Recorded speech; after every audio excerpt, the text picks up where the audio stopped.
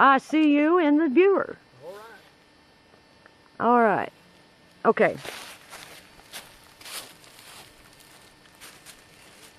Well, first of all, I want to thank everybody for coming to honor Robert Julius Bob Baker and William Neal, two War of 1812 veterans that certainly deserve the honor. Um, I'm Sherry Frazier, and I am the past founder of the Owsley County Historical Society and the new president of the Owsley County History and Genealogy Society. And thanks to Harley Bowling and Conley Baker, uh, and the persistence of Conley to secure these two monuments, we ordered these and got these from the Veterans Administration in Washington, D.C. And uh, Hazel and Charles Moyers and Conley and Inga and Jerry Grimes came up yesterday and set the stones, and they look absolutely marvelous. You know, it is so important for us to honor our veterans, especially these old veterans that do not have military markers signifying the sacrifice that they made for our great country. Um, it is the historic, the Owsley County History and Genealogy Society's main priority to continue with our veteran monument placement program. Uh, and if any of you out there know of any old veterans, if you have any ancestors that do not have markers, you see Harley or myself or any of the rest of our members, and we will be happy to secure those for you. Um, and have a presentation such like this to honor them because they certainly deserve it. Um, for those of you, who, uh, most all of you know my Uncle Hubert here. Uncle Hubert was a chaplain at the Veterans Administration. He's a World War II veteran and was a chaplain at the VA in Lexington for 30 years. And uh, he's going to give the invocation.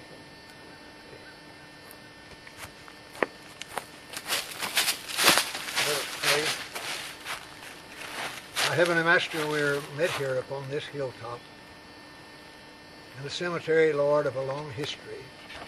Many of those that are buried here, our Father, have been engaged in the battles of war for the protection of our country. Some of them, our Father, have been sadly forgotten.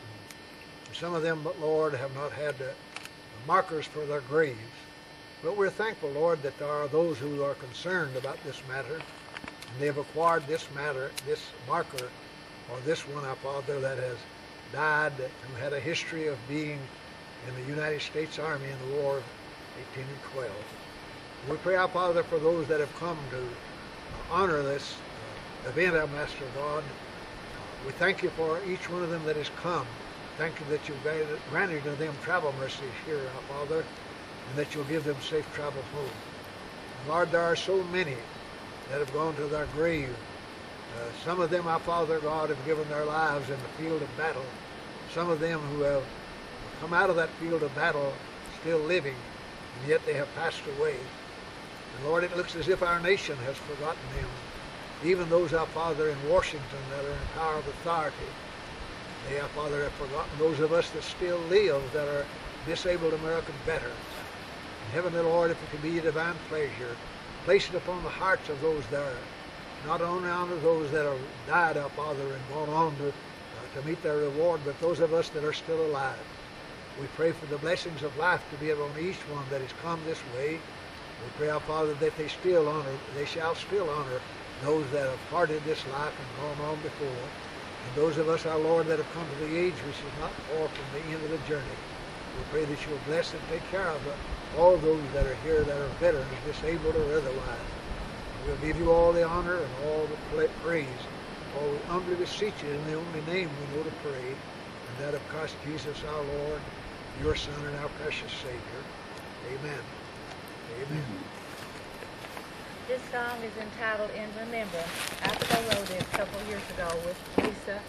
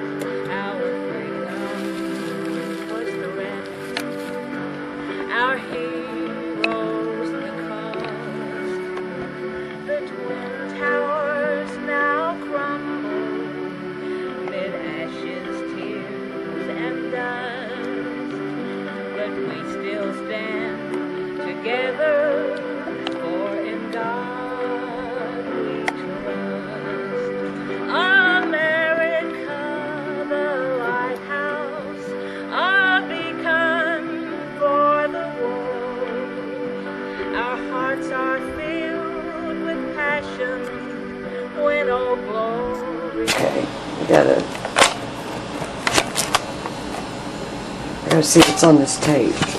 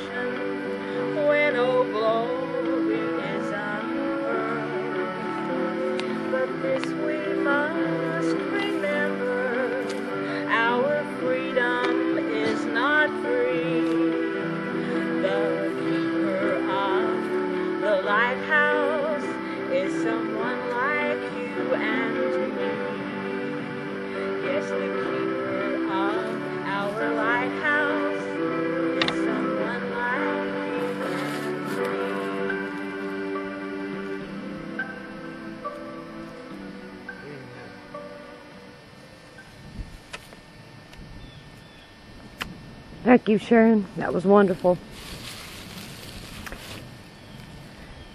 Well, I, I'll introduce Jess Wilson. He needs no introduction.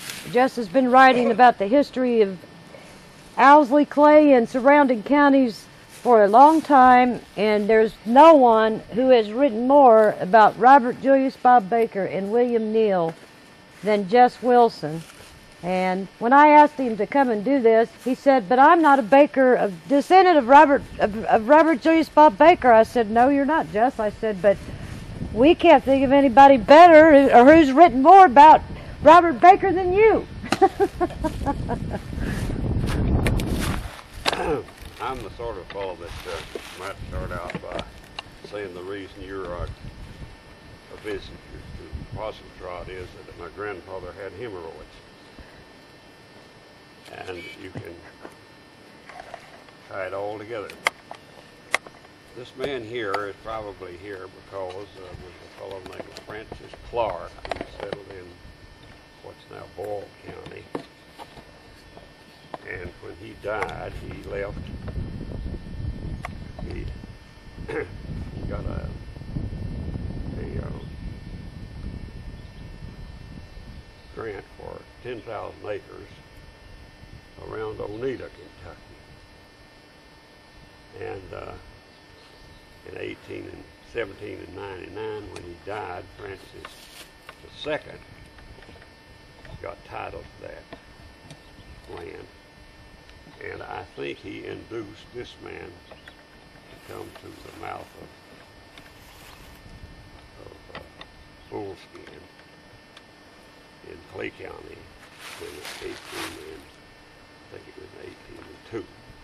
And uh, then in 18 and sometime between 18 and 22 and 1825 they moved down river and came to this place here.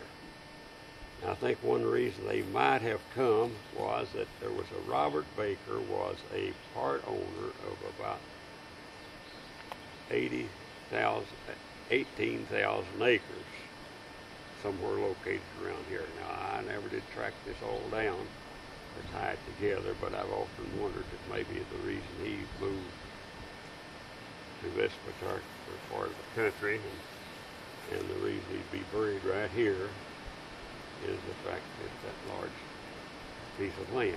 Now, how, however much of it he actually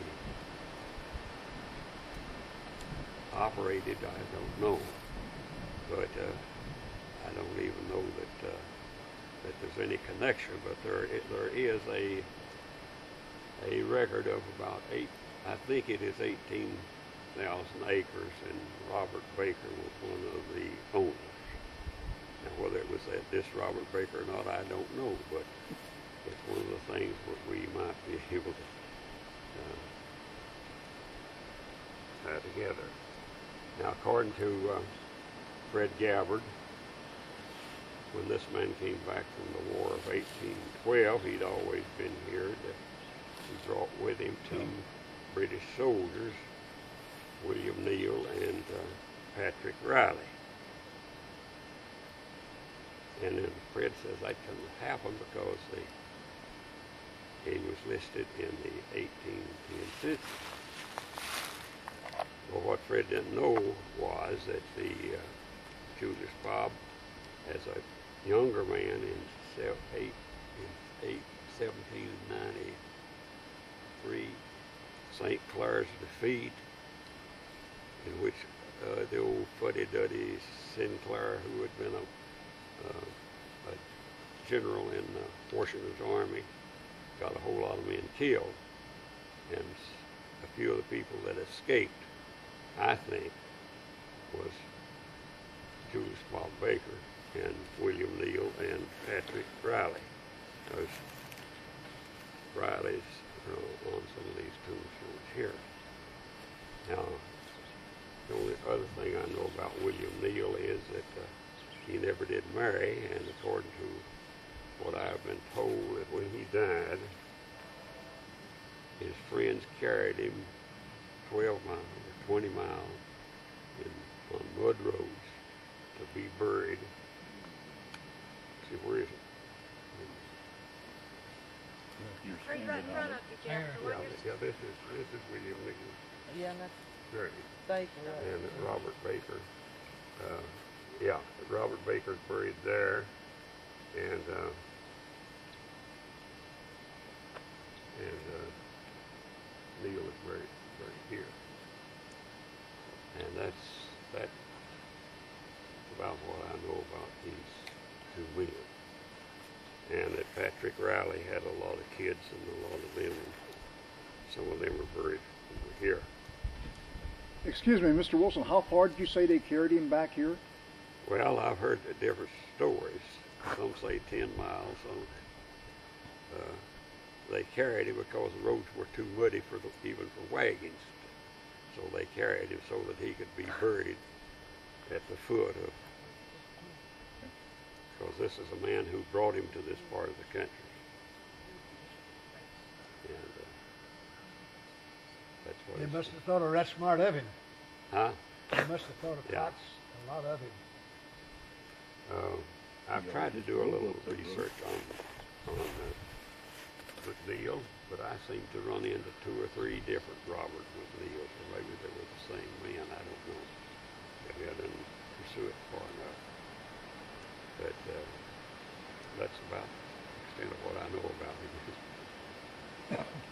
and uh, I do know that I'm pretty sure that the, that the reason he gave into this part of the country was on account of Francis Clark. Now, Francis Clark Jr. also had a salt works at Oneida, and he bought the 40,000 acre Ballard Smith tract, which includes about 20,000 acres in Jackson County and 20,000 in Clay County and had it sectionized and, and I live on section 15 and I was born on section 16 and uh, I got laughed at in history class on account of that. I got it to get purged just a little bit. I got even with the old professor for that. It was an afternoon and on a Sunday uh, the class was at one o'clock on the sunny side of the house. And after lunch, I had a tendency to go to sleep. And he had a tendency to work, go all the way from, he'd get off of American history onto French history or something else. And uh, I'd go to sleep. and he would ask a very complicated question, then call on me to answer. I would shake my head, look bewildered, then give him a perfectly good answer. The classroom would roar uh, I came up with answer. What he didn't know was that when he saw me sleep, the tone of his voice would change enough to make me that I would wake up. He'll pretend to be asleep, and I was very careful to question. Open my eyes, shake my head a little bit, and then give him a good answer. So I, I would I would get a roaring ovation when I, did, when I did. That made him much more angry. Thank you all very much. Thank you, Jess.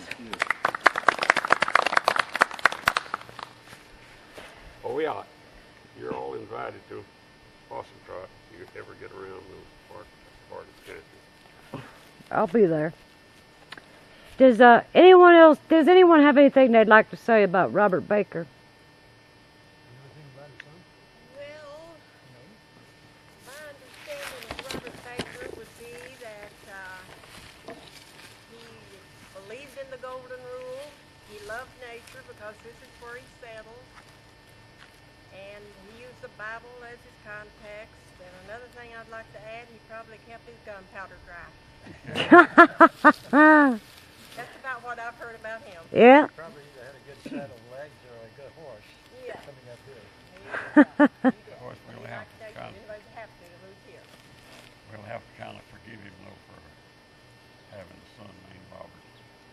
Yeah.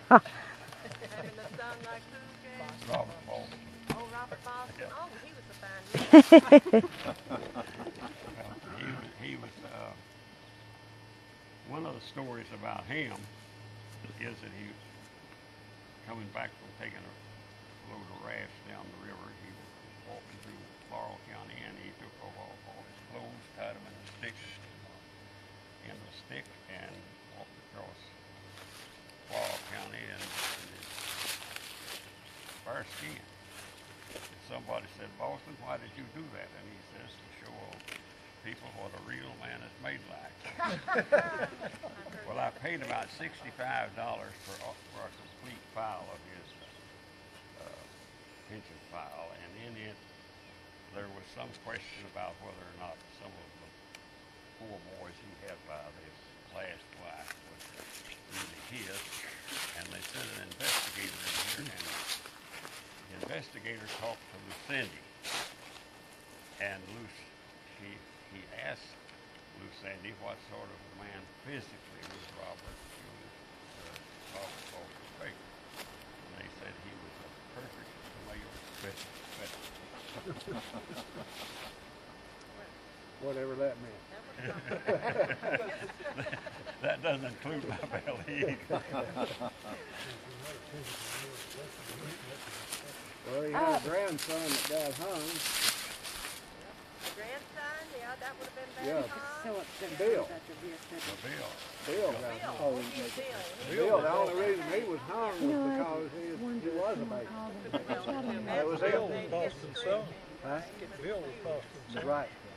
And the Hanks. Grandson of old I'll find out when this happened. I will write an article in the Booneville paper. What about the Haggett? I have, I That would be wasted.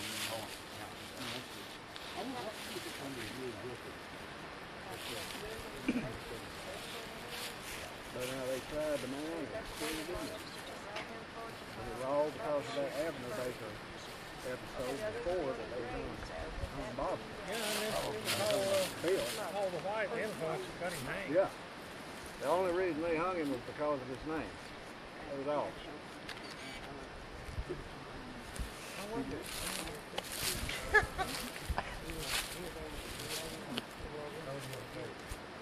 How about, I apologize to everyone, the VFW uh, was supposed to be here. I, I stopped by and saw Jim Couch yesterday, and he said they would be here. You know, uh, the only thing I can think of is, uh, and I hate to think that someone would do it, is that someone facetiously called them and canceled it. Maybe that Face Hill. I wouldn't put it past somebody. They Could've got lost in the road up there too. Yeah. Well, Yeah, I've been here. I would hate to think of somebody who, but I just want to see something. Well, And anyway, that's reason not. I think we are to uh, thank Sherry for getting it organized. She's our leader, our president, and we're very proud of her. She gets things done. That's Yeah, let's give her a hand. I think Yeah, all right. right. Yeah, for And sure. there's a, there is a group that helps her too that is very important to our society. Ruth Klein, Nancy. I've got a whole list that I can't go into. But I did tell them I would recognize a few. Uh, Cindy Deaton, you, you all know them all. They're all very important to us, aren't Yes, they? they are. And they just wanted to be recognized since they couldn't be here. That's right. We have a lot of unspoken members that cannot travel here that have just as much to do with this organization as someone who lives Tommy here Barrett was or here, who but lives he had to close enough leave. that they can travel here. They put forth their time and efforts and money into, and they will always be recognized as a vital part of our organization, no matter if they live here or if they live in Ar- if they live in the Antarctic. You know, if they've got ancestors that came from here, their family does. And, uh, you'll always recognize them for that. Now, let me, uh, let me ask a question. There, the other group, if I'm, I told not. grab his ear, grab his ear. Go The other group is having a ceremony up here, Uh-huh. Memorial Day. For John Baker, yeah. Yeah. Mm-hmm. Where are they going to set the stone? I wonder. Right there. We don't know. Don't know, but I, I'm just curious to see. Uh, we don't know. They haven't said anything to us. Yeah. They had a stone? They have a stone. Uh, They have those I'm not- I'm They not have sure who's shells heading made. up. They have all of Harley's material. They have a lot of stuff. Yeah, they have your show. Thank God they don't have Harley. That's the most That, hey, I'm thing. telling you. Yeah. Material, Best, mat- Jerry. material things in life Well, don't last, Sherry. That's right. You're amen to that. They Uh, gave part of half or more than half. the Hey, stuff ca they how had. about we get everybody standing over here by behind the wreath? Can we do that? And I'll get a group picture. Get who? Get a picture. You're one. Come on.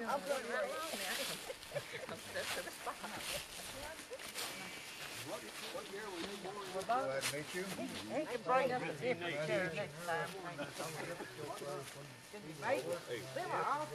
Harley, get in there. I hear you're looking at about a half inch each way. You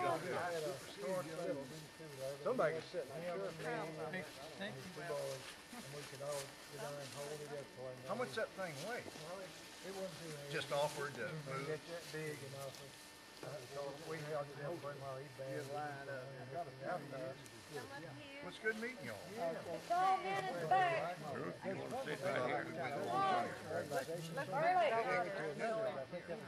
Harley and Rob, you can talk after this is over now. Come on. People in this friendly and